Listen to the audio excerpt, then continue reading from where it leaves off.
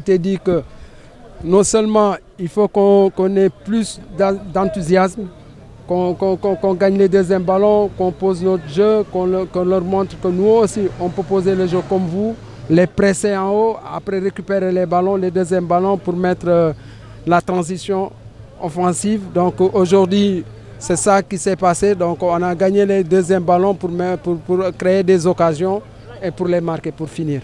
Ah, pour moi, pour moi, ce match, ce match c'est comme les autres matchs parce qu'on va les préparer comme on a préparé la douane, comme on a préparé le CNEPS.